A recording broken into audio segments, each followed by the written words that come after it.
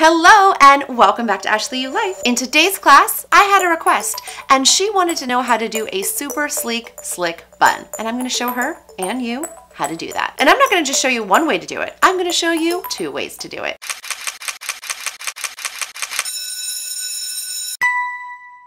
To make this sleek, slick bun, you are gonna wanna have two to three day old hair, like me. You wanna make sure it's combed out. Then I'm actually gonna tease my hair just a little bit on the top and the base, just so I give something for the bobby pins to hold on to and to give my bun just a little bit of volume. Once you have that underneath part teased, you can now start to work your hair into a high ponytail. Comb back any pieces to make sure you're getting it as sleek and slick as possible. If you have any loose flyaways, feel free to use some water on your fingers to just tuck those back. Once you get your hair as sleek and slick as you would like it, secure your hair with a rubber band. The higher on top of your head that you put your ponytail, the higher up your bun will be. So depending on where you want to put your bun, that's where you're to stick your ponytail. Now is the time to check for any bumps or dents that you don't like. Now is the time to fix them. From here, I'm to show you two ways that you can make your top bun.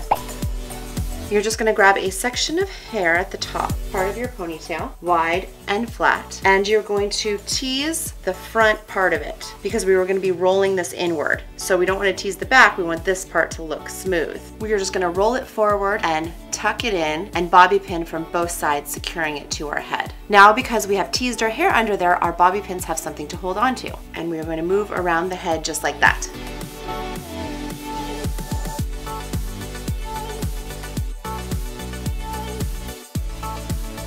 I'm going to tease on the bottom part of this because I'm rolling it under.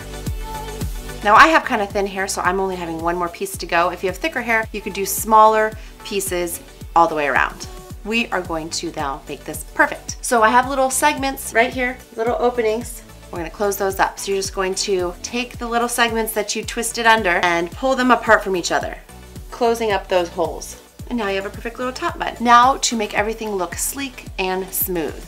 Actually don't slick back my hair much, so I'm gonna use some of my husband's pomade that he uses in his hair to slick back my hair. You can use whatever you'd like. You could use water to slick it back and do a bunch of hairspray. You could use a little bit of coconut oil to make it look shiny, whatever you'd like. This is what I'm gonna do. If you have some hair gel laying around, that would work too. And just start slicking back.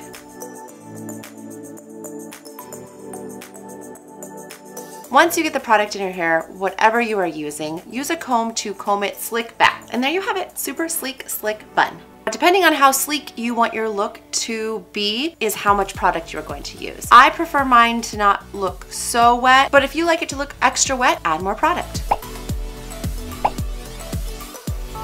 This time, we are going to tease the whole ponytail. Go ahead and get crazy with it. Now take your ponytail that is now extra thick and just lightly twist it. You don't want it too tight and slowly wrap it around.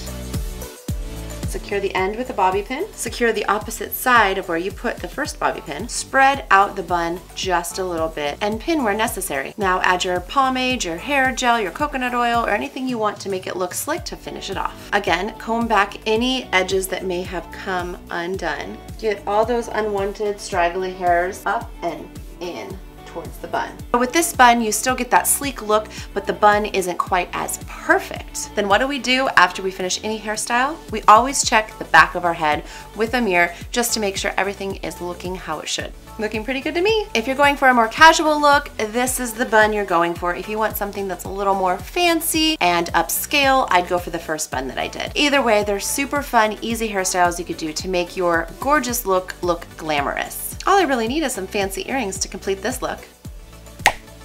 I hope this hairstyle, whichever way you choose to do it, makes you feel beautiful and helps you feel even extra glamorous. Make sure to like and share so other people can like and share.